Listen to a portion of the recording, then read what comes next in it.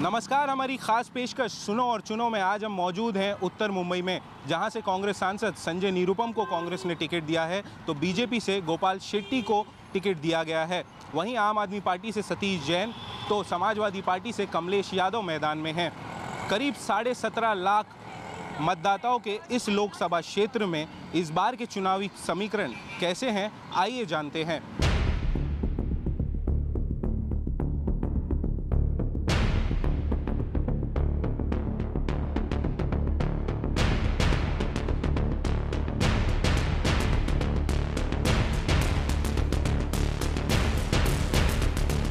उत्तर Mumbai Lok Sabha seat. Marathi और गुजराती बहुल इस इलाके में छोटे मोटे व्यापारियों की संख्या बड़ी है।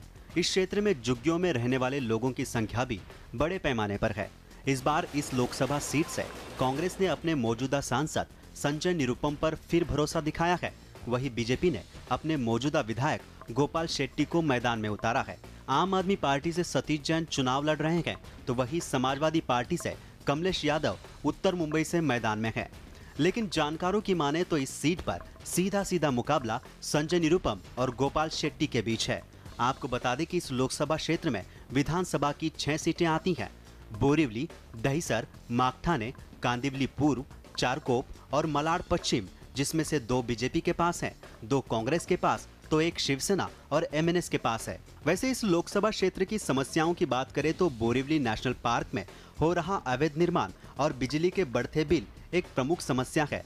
वैसे आपको बता दें कि उत्तर मुंबई लोकसभा सीट बीजेपी का गढ़ है। इस सीट से राम नाइक ने लगातार पाँच बार जीत हासिल की थी, लेकिन साल 2004 से इस सीट पर कांग्रेस ने कब्जा कर रखा है। इसी सीट से अभिनेता गोविंदा साल 2004 से सांसद बने थे, लेकिन इस बार इस सीट पर बीजेपी की दावेदारी मज़बूत मानी जा रही है। वजह चुनावी मैदान में मोदी का समर्थन कर रही एमएनएस है। इस सीट से एमएनएस ने अपना उम्मीदवार नहीं उतारा है, जिसके चलते सीधा फ़ायदा बीजेपी को हो सकता है।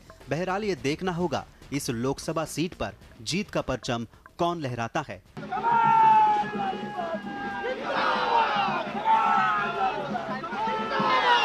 आसिफ रिजवी के साथ Shiv Shinde P seven news Mumbai.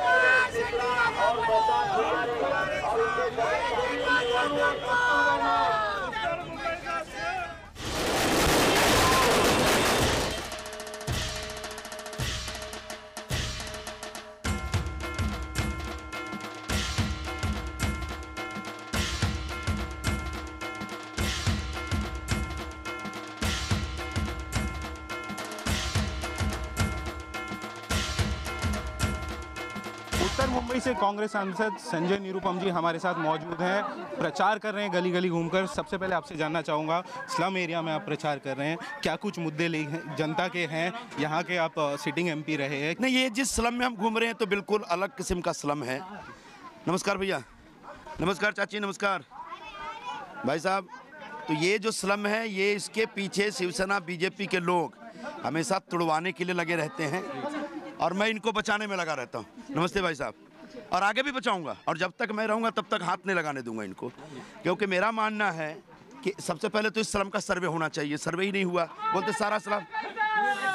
बोलते सारा बोलते सारा स्लम अवैध है, ऐसा नहीं है। बहुत सारे लोग हैं 95 से पहले के, बहुत सारे लोग 2000 के पहले के हैं। अगर आपको लगता है कि कुछ अनऑथराइज्ड है तो आप पहले सर्वे तो कराओ। आज तक सर्वे नहीं हुआ। मेरे आग्रह पे मुख्यमंत्री जी ने सर्वे शुरू कराया। अब मैं कह रहा हूँ कि यहाँ पर स्लम डिक्लेयर करिए, ताकि महानगर पालिका जो तेईस हज़ार करोड़ रुपये खर्च करती है, उसका एक हिस्सा यहाँ भी खर्चा करे। आखिरकार यहाँ भी तो लोग रहते हैं, इंसान रहते हैं, मुंबई के नागरिक रहते हैं। नमस्ते।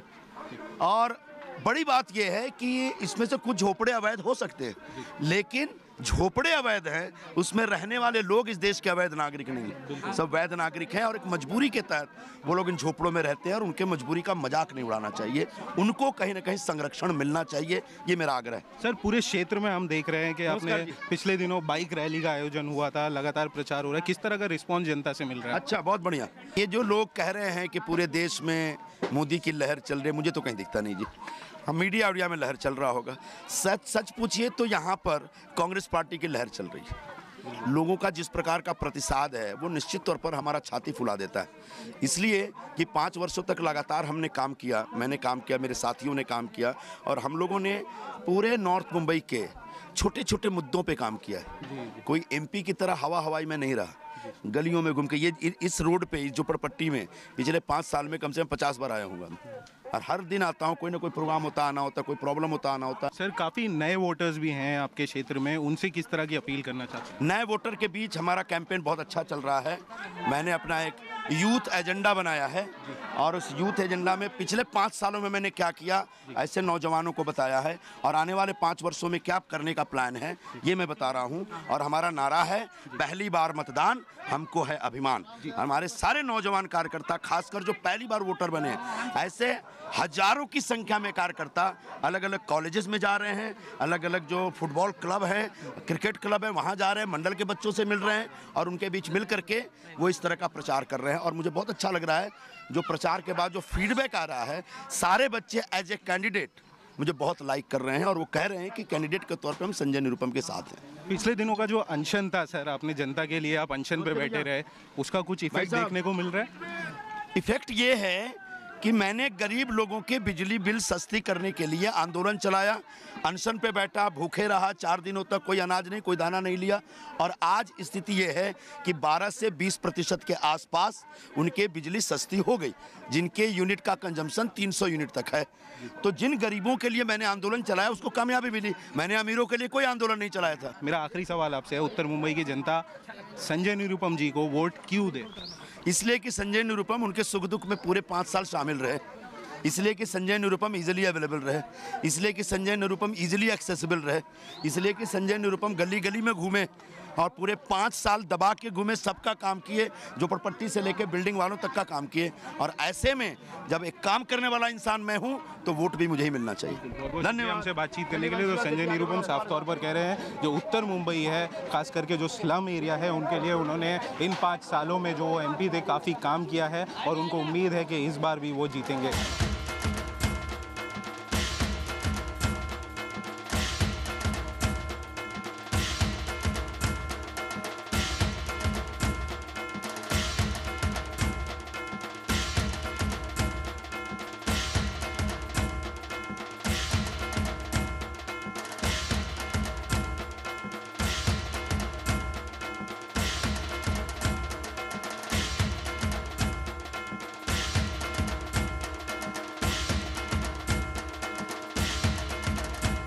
उत्तर मुंबई से बीजेपी और महायुति के उम्मीदवार गोपाल शेट्टी जी हमारे साथ मौजूद हैं यहाँ पर प्रचार कर रहे हैं। सर सबसे पहले मैं आपसे जानना चाहूँगा किस तरह का माहौल देखा जा रहा है यहाँ पर? किस तरह से जो मुद्दे हैं वो आप उठाने की कोशिश कर रहे हैं लोगों के माहौल तो आपको दिखाई दे रहा है इतना हज़ारों कार्यकर्ता रास्ते पर उतरे मतदाता देखे गाड़ी एक भी दिखाई देती नहीं सब रोड पैक हो गए इतने बड़े पैमाने पर लोग मतदाता प्रतिशत दे रहे हैं। ये पहले दिन से ही चालू है यानी लोगों का कांग्रेस के ऊपर का जो गुस्सा और नरेंद्र मोदी जी के ऊपर का प्रेम और मैंने जो बाईस साल में तीन बार नगर सेवक और दो बार विधायक के नाते किया हुआ काम शिवसेना भारतीय जनता पार्टी आरपीआई के संगठन की ताकत है ये।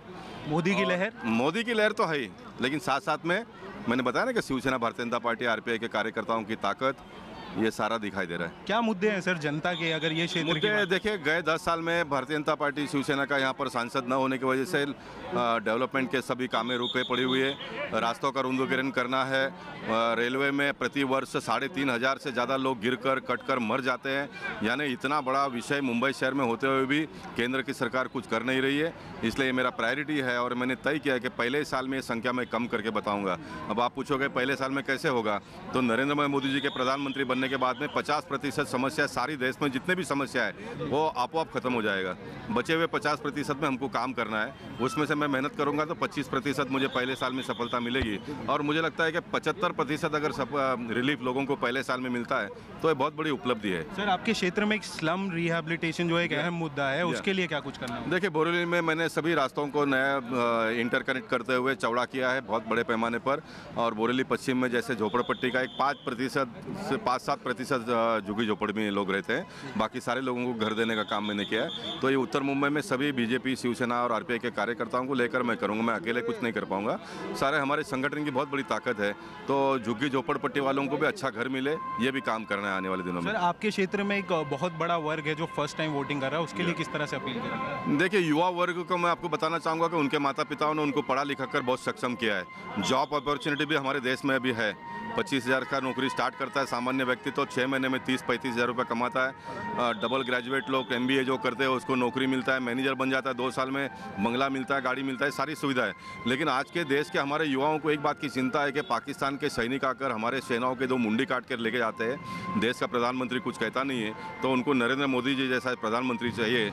गुजराती में दो दूनी चार मराठी में गए थे ना, दो हमारे काटे तो उनका चार काटना ही पड़ेगा। ये देखिए, सैनिकों का काम तो सेना में जब आदमी आते हैं तो मरने के लिए आता है, लेकिन गोली खाकर मरने की उसकी तमन्ना होती है। मुंडी काटना है नहीं उसके लिए भी शर्म की बात है और हमारे नागरिकों के लिए भी शर्म की बात है। सब चाइना के लोग 19 किलोमीटर हमारे देश के सरहद के अंदर आ जाते हैं और हमारा प्रधानमंत्री कुछ कहता नहीं है। तो नरेंद्र मोदी जी जैसा प्रधानमंत्री चाहिए, जो सेनाओं को लोगों को कहे कि भाई चाइना के बॉर्डर के अंदर 19 किलोमीटर ढकल के आ जाओ करके। अगर तुमको चलने का शौक है तो अपने बॉर्डर तक 19 किलोमीटर चलो। इधर पाँव नहीं रखने का। इस प्रकार का एक ज़ोर से कहने वाला प्रधानमंत्री युवाओं को चाहिए और वो मुझे लगता है कि नरेंद्र मोदी जी पूरा करेंगे। गोपाल शेट्टी जी को उत्तर मुंबई की जो जनता है वोट क्यों दे? गोपाल शेट्टी को वो उत्तर मुंबई की जनता ने वोट इसलिए देना चाहिए कि तीन बार नगर सेवक के रूप में मैंने काम करके दिखाया दो बार विधायक के रूप में मैंने काम करके दिखाया। मुंबई में सबसे ज़्यादा गार्डन और प्लेग्राउंड अगर किसी ने बनाया तो मैंने बनाया।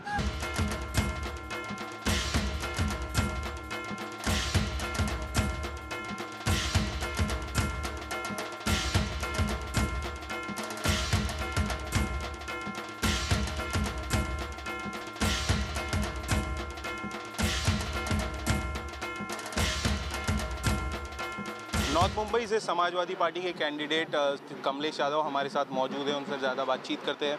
सर क्या कुछ उम्मीदें हैं? क्या कुछ जो मुद्दे हैं वो जनता के बीच आप लेकर जा रहे हैं? देखिए, जनता समस्याओं से त्रस्त है और बीजेपी और कांग्रेस के दोनों जो उम्मीदवार हैं, सिर्फ़ लोगों को हवाई पुलाव दिखा रहे हैं, हवाई सपने दिखा रहे हैं।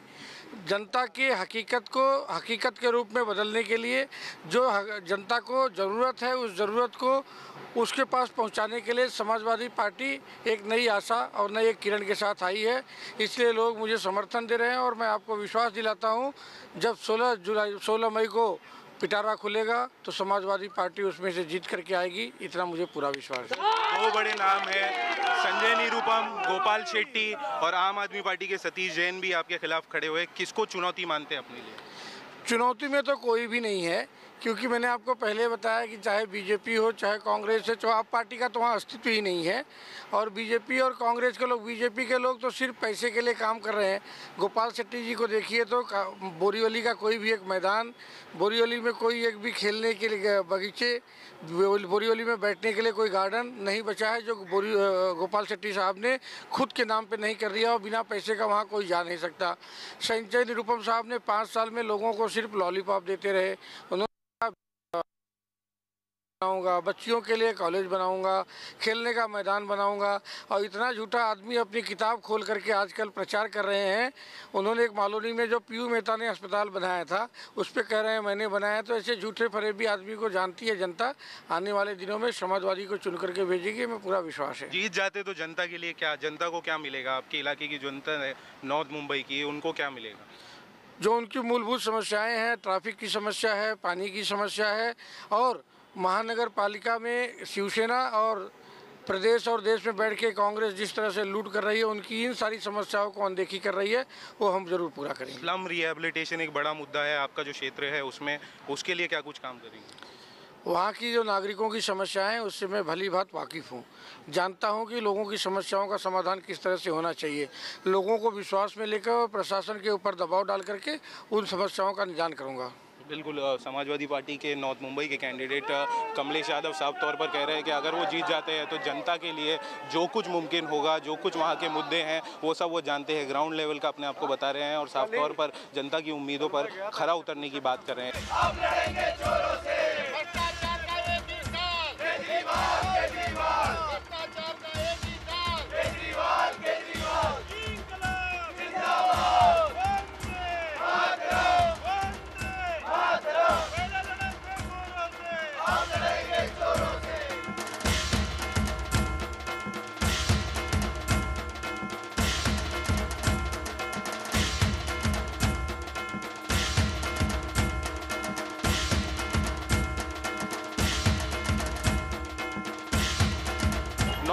केजरीवाल की आम आदमी पार्टी से उम्मीदवार हैं सतीश जैन हमारे साथ मौजूद हैं, यहाँ पर प्रचार कर रहे हैं। सर, सबसे पहले मैं आपसे जानना चाहूँगा, क्या कुछ मुद्दे हैं जनता के बीच जो आप लेकर जा रहे हैं? बहुत सारे मुद्दे हैं उत्तर मुंबई के।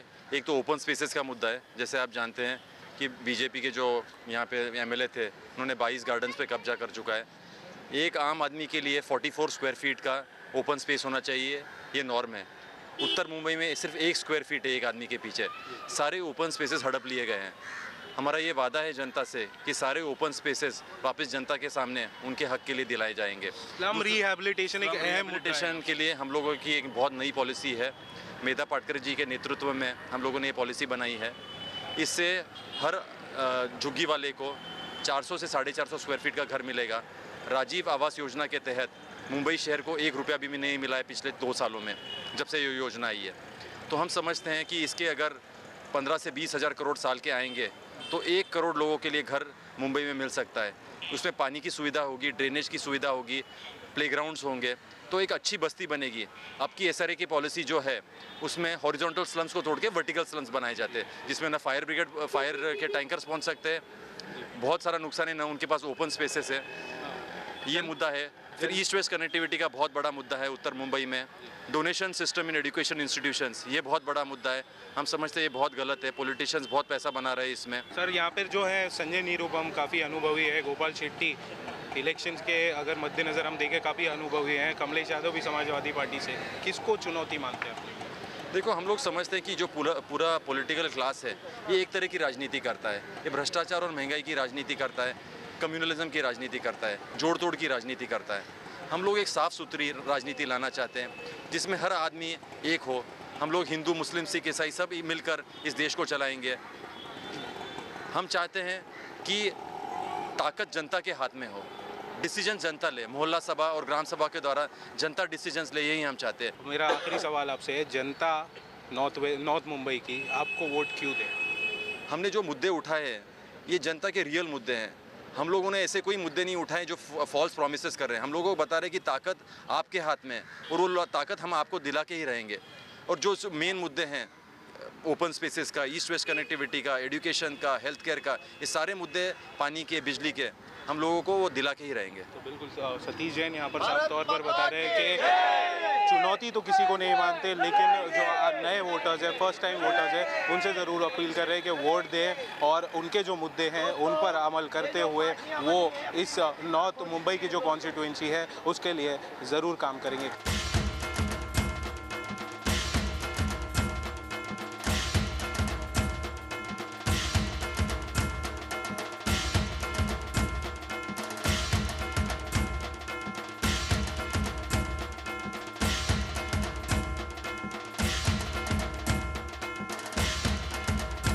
इस मौजूद हैं।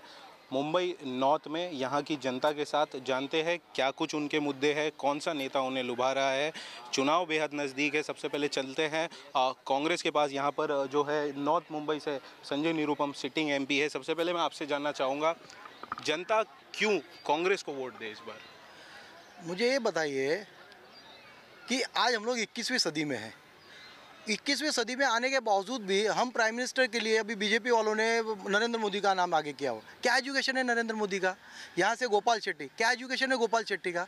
आपने कभी सोचा इस विषय पे कि भाई इतने पढ़े लिखे इस दुनिया में जहाँ पर 21वीं सदी में हम लोग, दो हज़ार चौदह की बात करें हम लोग, उसमें अनपढ़ ये सात आठ पढ़े हुए हैं नरेंद्र मोदी चार पाँच पड़े हुए हैं। बीजेपी की लहर मानते हैं आप इसको? नहीं इसकी कोई लहर नहीं ये कोई लहर नहीं। यहाँ पर कांग्रेस का कहना है कि बीजेपी की लहर नॉर्थ मुंबई में नहीं है हमारे साथ बीजेपी के भी लोग हैं। आप जी आप बताइए इनका कहना है कांग्रेस का कि बीजेपी की लहर इस वक्त जिस तरह से देश में देखी जा रही है नॉर्थ मुंबई में नहीं है। क्या कहना है इस पर? मुझे लगता है इस पे ज़्यादा बहस नहीं करते मैं एक ही कहूँगा जब 16 तारीख को मतदान का बॉक्स खुलेगा उस दिन संजय निरुपम जी को भी कांग्रेस वाले को भी मालूम पड़ जाएगा कि किसकी लहर थी और किसका क्या हाल हुआ। और जहाँ तक पढ़ने लिखने की बात है तो इतने सालों से शासन चला रहे।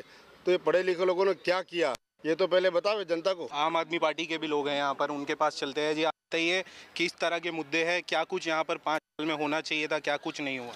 यहाँ पे जब से बीजेपी के जो एमएलए है नाम नहीं लूँगा लेकिन बीजेपी की जो है उन्होंने जो काम किया है अभी इनके लोग ने बताया कि ये विकास करेंगे।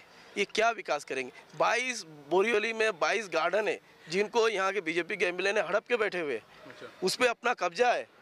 वहाँ पे पैसा लिया जा रहा है उनसे। ये विकास क्या करेंगे? पब्लिक की जो प्रॉपर्टी है उनको हड़पने का काम कर रहे हैं ये लोग। ये लोग विकास क्या करेंगे आप बताइए ना। खाली मोदी के हवा से यहाँ का जो खड़ा हुआ है बीजेपी का वो जीत नहीं सकता है। जी आप बताइए आपका क्या कहना है? बताइए। हमारा कहना है, संजय रूपम ने खाली लोगों को तोड़ने का काम किया है, जोड़ने का काम नहीं किया है, और वहाँ भी जहाँ जाएँगे सांसद वहाँ भी जाएँगे, वो भी तोड़ने का ही काम करेंगे। कोई अच्छा काम नहीं, एक राशन कार्ड बनाना उनका काम नहीं है, लेकिन उनके ऑफ़िस में राशन कार्ड तक बनता है। मतलब जो उनके पास में अगल बगल में रहते हैं, उनको ज़ीरो समझते हैं, खाली अपना हीरो बनना चाहते हैं। कांग्रेस का जो नारा है, हरा शक्ति, हरा तरक्की चुनाव के दौरान क्यों आया? इसके पहले ये नारा किधर था? पहले से ही नारा है साहब। इस चीज़ को आपने गौर कभी नहीं किया है। कांग्रेस ने कुछ दिया है इस देशों को। आज देश को आपको विकास की ओर लेके किसने गया है? गांधी परिवार ने लेके गया है। कुर्बानी किसने दिया? गांधी परिवार ने दिया है। मोदी कहते हैं उनके जैसा विकास गुजरात आप, आप गुजरात से ज़्यादा महाराष्ट्र आप पेपर आज पढ़िए ना। एक मिनट। आपको मैं बता देता हूँ की गुजरात से ज़्यादा विकास महाराष्ट्र में हुआ है जो की महाराष्ट्र के सबसे बड़ा आज राष्ट्रवादी के शरद पवार जी जो विकास की ओर लेके गया है कांग्रेस और राष्ट्रवादी दोनों मिल करके आप पेपर में आज का पेपर में पढ़ लीजिए। परसेंटेज हो गया है। बीजेपी का रिएक्शन यहाँ पर आप बताइए कहते हैं ये कहते हैं विकास मोदी ने जो गुजरात में किया है उससे ज़्यादा महाराष्ट्र में। हैं कि ये 60 साल से विकास कर रहे हैं। मोदी जी ने आज 2002 से जो विकास किए इतने कम टाइम में ये आप मुझे बताइए इन्होंने 60 साल में इतना टाइम लगाया करने को? और गोडाउन में अनाज पड़ा सड़े जा रहा है लोगों को खाने को नहीं मिलता है। हज़ारों टन अनाज गोडाउन में चूहे खा जाते हैं सड़ जाता है। नहीं संभाल सकते तो देश क्या संभालेंगे? पूरा अनाज सड़ जाता है जो किसान भाई मेहनत करके पैदा करते हैं। ये लोग क्या देश संभाले यहाँ पर मुंबई, नॉर्थ मुंबई पे मौजूद थे। मिली जुली प्रतिक्रिया आरोप, प्रत्यारोप का दौर जो है यहाँ पर देखा जा सकता है। यानी कि साफ़ है कि यहाँ पर जो आगामी चुनाव है, उसमें काटी की टक्कर ज़रूर देखने को मिलेगी। कैमरामैन विनोद गुप्ता के साथ Asif Rizvi P seven news Mumbai.